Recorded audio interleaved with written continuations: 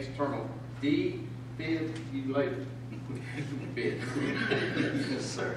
Uh, As we discussed yesterday, Lowndes County was recently awarded Homeland Security grant funding for the purposes of purchasing CPR equipment and conducting training. Uh, As part of that grant, we uh, solicited bids from a number of vendors um, for the purchase of the AEDs, the uh, wall cabinets to be, where they would be mounted, um, as well as the AED trainers that will be used to train uh, laypersons in the use of the AED. And Once we got all the bids, uh, once we received all the bids, a low bid was submitted by Lifeguard Medical. So we would, we would uh, recommend that the commission approve the, the bid from Lifeguard Medical for the purchase of the equipment using grant funds. Any questions for Mr. Ty? Actually, I do, Mr. Chairman. Um, The, those units, can they be used multiple times?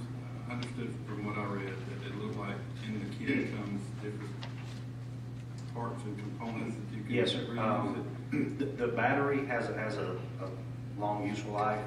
Um, so the battery keeps stays charged, and can be used over and over again. The only thing that would have to be replaced, um, you know, once you, once you place the pads on somebody, that the pads are actually what delivers the shock, then we would have to, um, replace those pads. Uh, you're looking at, um, I think forty, fifty dollars per set of pads. Um, So that's really the only recurring cost is, um, you know, once, once they are used, you have to buy new pads, put those on.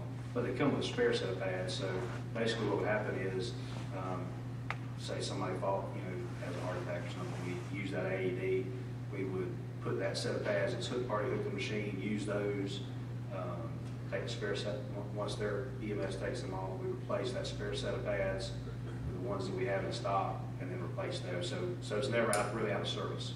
If, you know, the battery has a useful life, about four years, I think, so about every four years you have to replace the battery. Gotcha, thank you. Yes, sir. Any other questions? Hearing none, thank you, Mr. Ty. All right, Commissioners, I'll entertain a motion.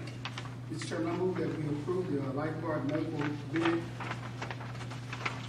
Do we have a motion to approve, uh, the lifeguard medical bid? Do we have a second? Second. We have a second. Any discussion on the motion? Hearing none, we'll call the vote. All in favor, signify by aye. Aye. Any opposed, like sign. Hearing none, the motion carries.